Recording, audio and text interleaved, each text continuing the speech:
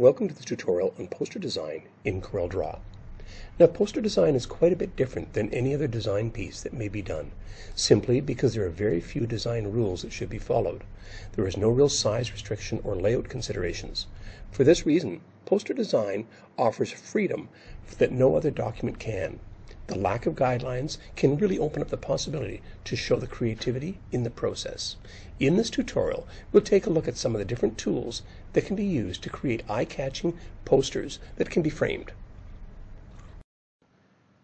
Sweet Soulful Jazz is the theme of the poster. To advertise an evening of jazz music, start by gathering the content.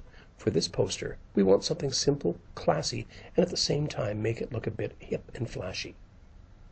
When I hear jazz, I think of sax and trumpet, so including an instrument that is indicative of jazz just makes sense. We'll use a trumpet and a few bars of sheet music.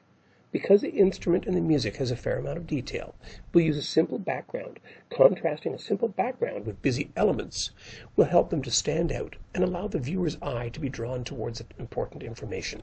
To create my poster, I'm going to start with a new document. I'm going to set it to tabloid size page Make sure I have RGB and 300 dpi selected, and then simply click OK. First, I'll double click the rectangle tool to add a page frame, and then I'm going to use my interactive fill tool. Click and drag, and then on the interactive property bar, I'm going to change this from linear down to radial. I'm going to move the white control handle to the top center third, and the black to the center of the page. On the white, I'm going to select my grass green. Let's bring this down a little bit more. And now it's time to add the elements. Hold down the Shift key and I'm going to double click on my rectangle tool. This will add a frame around this object. I'm going to right click on this frame and select Frame Type, Create Empty Power Clip Frame. This will give me a frame that I can power clip my clip art images into. I'm going to go to Import, I'll grab the first image that I want to bring in, which is my trumpet, simply click and drag, and I can drop it right on top of the power clip frame, and it will put it inside for me. I'll bring out my sheet music as well. So click and drag and drop that directly on top. Now the one thing you may notice is that it did not power clip into this frame. The reason being is I did not hold down the letter W on my keyboard. So let me just do that right now. That's now power clipped inside here, and if I double click on this frame, it brings me into the edit mode. I'm going to position the trumpet where I want, rotate this 30 degrees counterclockwise, and I'll resize this and put this into position. I'll do the same with my music. Rotate this 30 degrees counterclockwise, resize and position this. And now finally for the sheet music, I'm going to simply left click on my white. On the trumpet, I want to give this a bit of a glow. I want to make it stand out. So from my interactive flyout tool, I'm going to select drop shadow.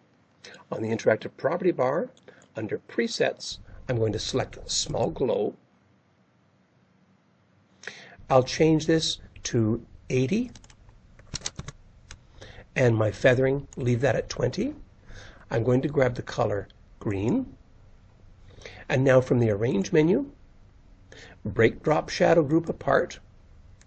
I will tap my space bar, deselect it, and select just the drop shadow. And then Control D allows me to duplicate this. I'm going to give this duplicate a different color. I'm going to make it a bright green. That will give it more of a glow. So now Control click outside of the page takes me out of the edit mode. I'm now ready to enter my text. I'm going to select my text tool, click off the page, and I'll type my string of text.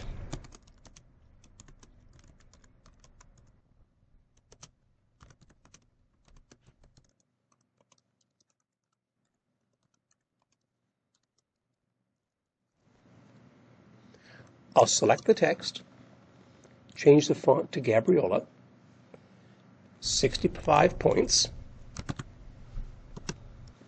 and now by clicking on my options drop down, I'm going to set this to a stylistic set 7. Position my cursor between the, the word of and sweet, hit enter, and now ensure that this is set to center justified. change the color to white. I'll rotate this 30 degrees as well, and then position this on my document.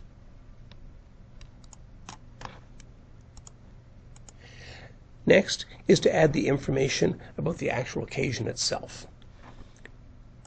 Import. I have a text file with that information in it. I'll simply click on Import, click OK, and I'll click my cursor once. This comes in as paragraph text. I need to convert this to artistic text. So from my text menu, I'll go down to Convert to Artistic Text. Right Justify, and I'm going to change this font to Bodoni. Position this where I want it. Change the color to white, and I'm going to make this a little bit larger. Now the final step for this poster is to bring in the logo. Again, import. I'll scroll down to where I have my logo and import this file.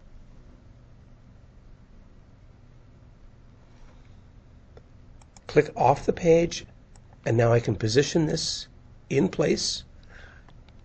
I'm going to ignore the power clipping, left click to make it white, and I'll make this a little bit larger. And there you have it. It's easy to see that creating a poster in CorelDRAW can be fun, especially when you understand that most of the design rules can be thrown out the window. There are just a couple of things to remember. A simple background can be contrasted with complex imagery and vice versa.